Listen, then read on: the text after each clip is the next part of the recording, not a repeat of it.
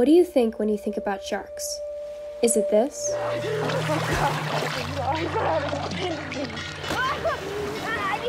Or this?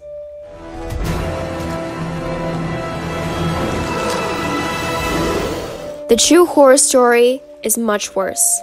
Although cast as the villain over and over again in media and movies, sharks, vital to the ecosystem, are the actual victims.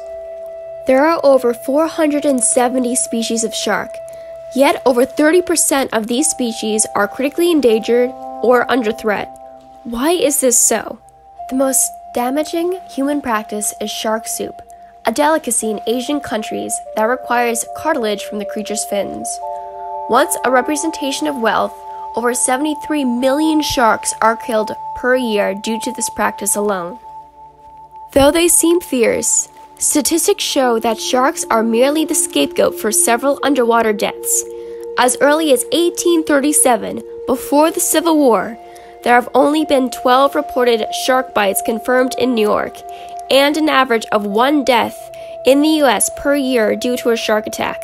A human is more likely to be killed by a cow, horse, or a rogue vending machine. What can you do to help? Do your research about different types of sharks in your area.